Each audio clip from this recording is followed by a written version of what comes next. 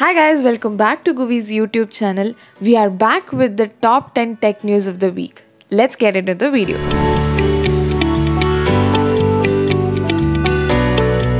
Microsoft says US rivals are beginning to use generative AI in offensive cyber operations. An unmanned lunar spacecraft has captured and transmitted data analyzing 10 lunar rocks, a greater than expected achievement that could help provide clues about the origin of the moon. A Japan space agency official said on Wednesday. OpenAI restores ChatGPT services after a massive outage. ChatGPT is up and running after a massive outage which lasted for around one and a half hours. The outage started from 8 pm IST on February 14th and it lasted up to around 10:30 pm.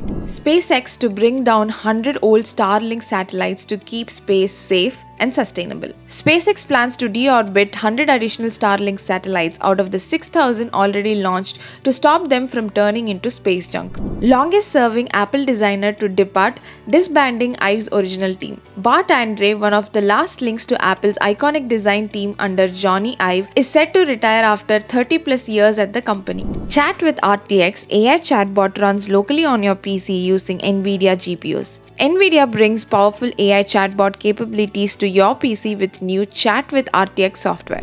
ChatGPT can now remember what you like and how you want it to talk. The feature is undergoing testing at the moment and OpenAI hasn't specified when it will be rolled out widely as of yet. Mark Zuckerberg reviews Apple's Vision Pro, calls Meta's Quest 3 better, lighter, and comfortable. Meta CEO claims Quest 3 outperforms the pricier Vision Pro in comfort, performance, and content library, calling it the better product. Epic Foundation unveils the first designed in India education tablet powered by Bharat GPT. The indigenously designed Milky Way tablet is AI powered and comes with a variety of use cases.